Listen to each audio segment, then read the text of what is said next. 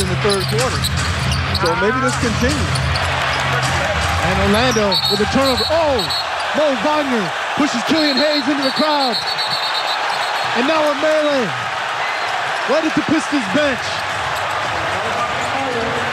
They got to be careful.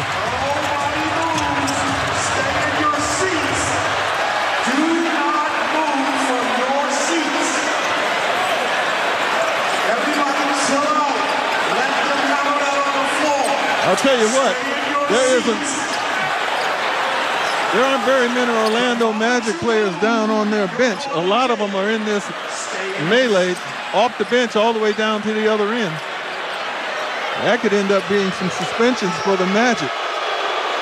Fortunately for the Pistons, it happened on their bench, so it's hard to discern as to you know who you could possibly say left the bench. None of them left the bench.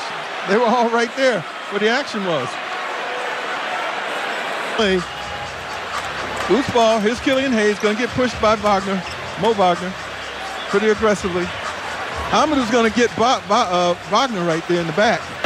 Killian's going to get him too. For an altercation that did not dissolve. I didn't see that in real time. I didn't either. All right, here we go. Here comes the announcement.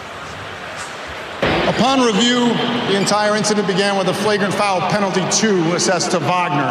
He is being ejected. In the, in the aftermath, we have a technical foul and ejection on Hayes and a technical foul on Diallo and an ejection for both being escalators of the altercation.